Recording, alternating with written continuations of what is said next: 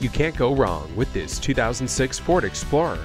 With keyless entry, four-wheel drive, and stability control, it's bound to sell fast.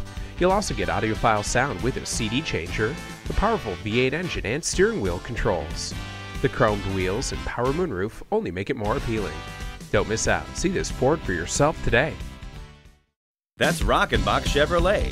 We're conveniently located at 1000 East Belvidere Road in Grayslake, Illinois, between routes 83 and 45.